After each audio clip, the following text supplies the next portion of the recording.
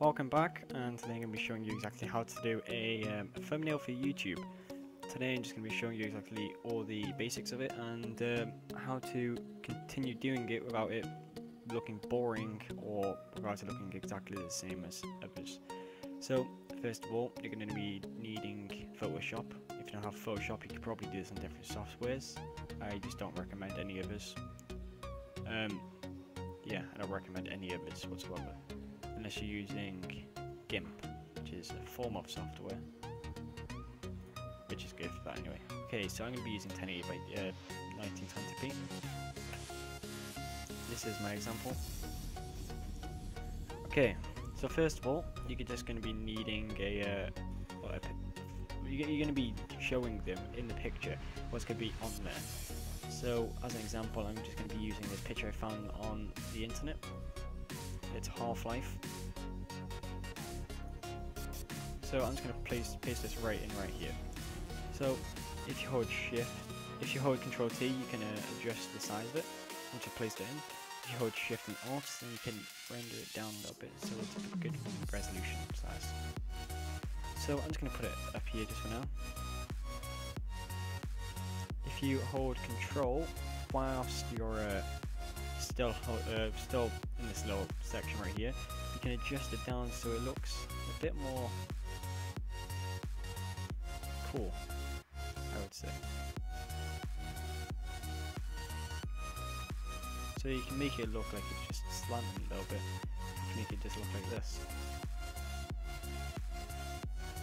Once you do it, if you don't like it, just press that press done apply. But just for mine, I'm just going to be rotating it.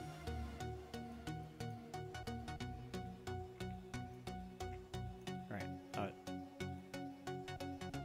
yeah, I'm going to keep like that. That'll do for me. Okay, so on a new layer, straight after that, I'm going to be putting um, some fonts in. Uh, also, there's going to be a small background. I'm not going to be needing this background right here. With this, I'm going to delete it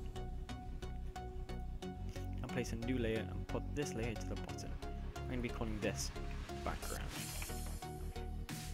It's just because um, when you get the background itself, the original one, you can't necessarily adjust it to certain uh, certain resolutions, and you can't make it look as good as you want it to be sometimes. You also can't move it around just to uh, adjust it.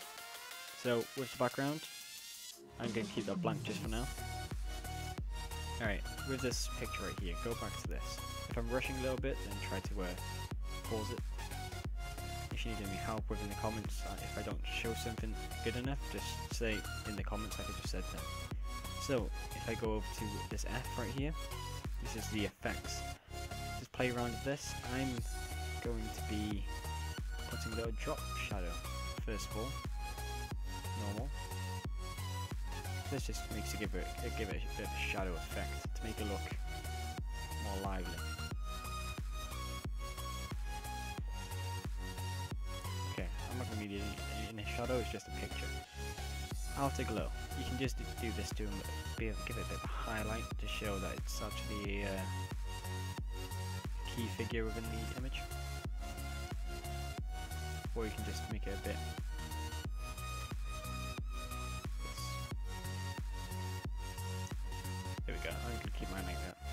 Um, bevel and emboss. This makes it look 3D. I personally use this for near everything. Just give it a bit of a shiny effect. And if you want, you can do a gradient overlay.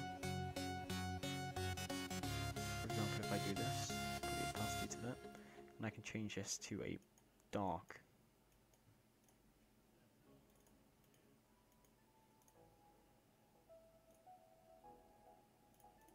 so I can give it a bit of a uh, dark effect to it.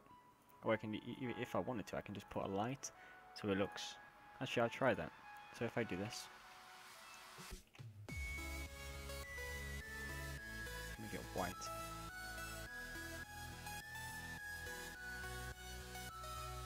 So I can make it so it looks like there's like a light source on it. Do this. Because the shadow's over here right now.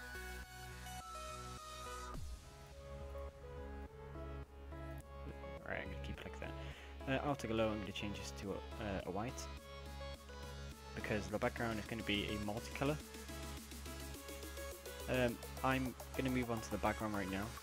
So if I quickly just press the background, uh, if I go to the selector right here, and I can drag this across the entire screen so it looks like this.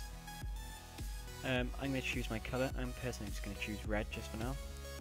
Uh, if you go over to this little box, right click, paint, and you can paint it. Press the magic tool and get rid of that. It's not going to stay like this, don't worry, uh, I'll make it look better now. If I now press this mask tool, this is this is why we need it to make a new layer because with the background we can't use the mask tool on it. Press the mask tool and with the mask tool make sure you're highlighting it on the box. You can go over to right click on this paint bucket, press gradient overlay and you can change it a little bit. So with mine I'm going to just press this right here.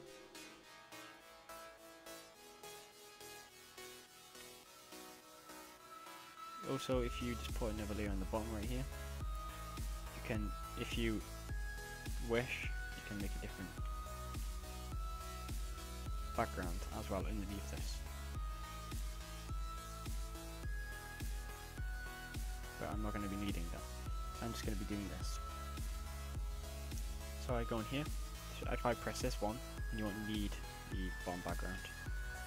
I'm going to be putting red there, and I'm going to be putting a green here. So it gives it this multicolour look. So you don't have to actually do this if you want, you can just keep it the one colour. You can actually just play around with this too. You can even use defaults like this, give it a gold look. But I'm just going to be doing this for my example today.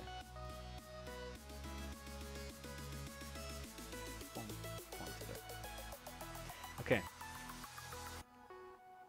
so next we need the text. Also we need the logo. I, I like to use put the logo in it just to show people that what it is. So if you just put a picture right here, they're not going to know exactly what it is unless they read the um, name of it. So forward, they know this could be Garry's mod rather than Half-Life. Somebody playing on Garry's mod.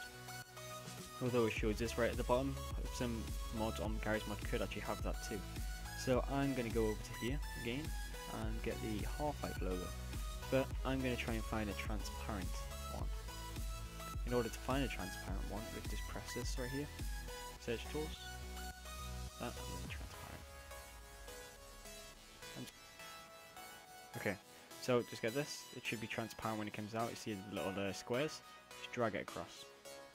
If it's too small, too big, anything like that, hold Control T, hold Shift and Alt you don't have to hold Alt if you don't want to. You don't have to hold Shift if you don't want to. It just gives it more of a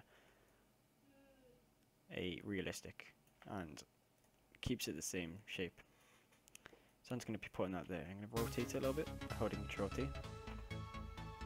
Rotate it the same angle as that. Okay. Keep that right there. So, um, next we need the text press this T right here, or you can just press T on your keyboard. For example, pull out white so you can see life. How to kill zombies. Put this to a font that you want.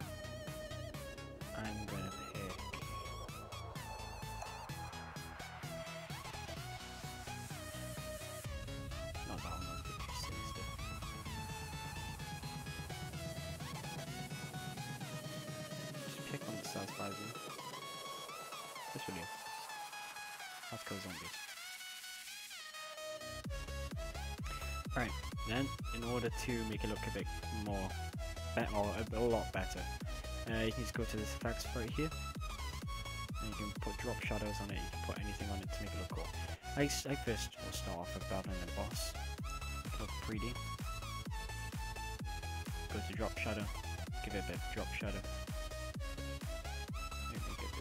Down so people can read make sure it looks good. Um, outer glow, I'm going to give it a white outer glow. Make it black if you like. Red.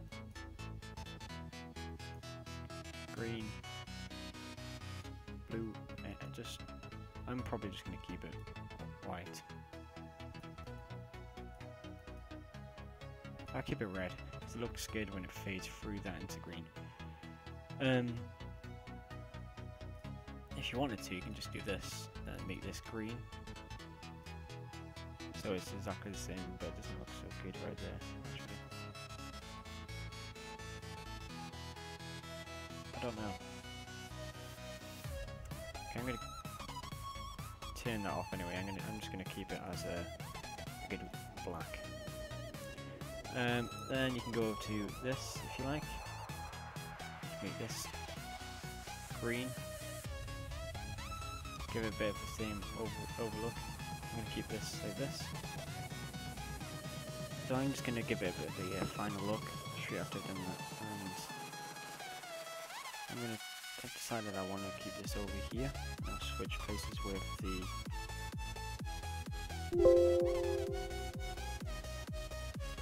want to switch places with this. So by doing that I can actually put the half-life symbol just up here.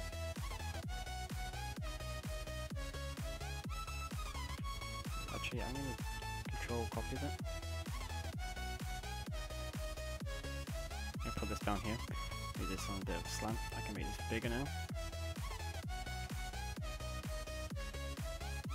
How to kill zombies. So people can read it. Uh, new layer. Actually, I don't need to do new layer if I just control J with this. Then I can write in this and say half less. Scooch it together a little bit, make it a bit wider, bigger. Change the colour if I like. That's not. If I go into here, take the gradient off.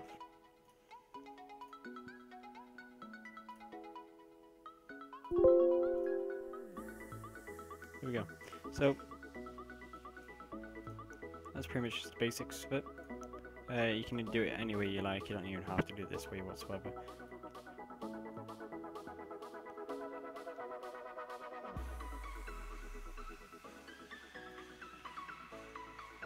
There we go. So, that's pretty much it. Um, you could also add some things into the background of it. You can uh, you can add some more pictures, etc. What I also like to do, not just have one picture, but I also like to have two pictures.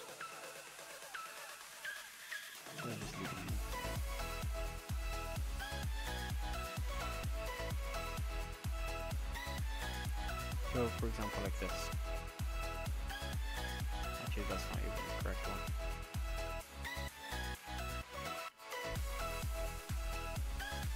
I know this is completely different Half-Life, but I'm just going to choose this anyway. This is Half-Life 1. Let's put this right here.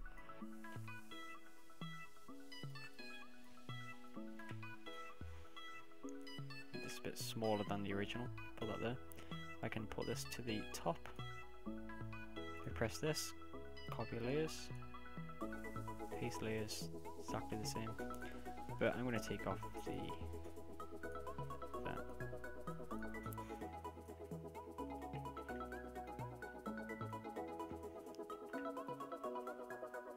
I can also, if I wanted to, actually I prefer to do this.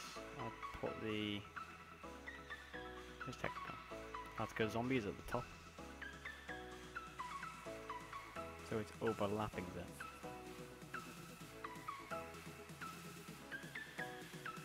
And that's, that's it. That's pretty much all you need to know.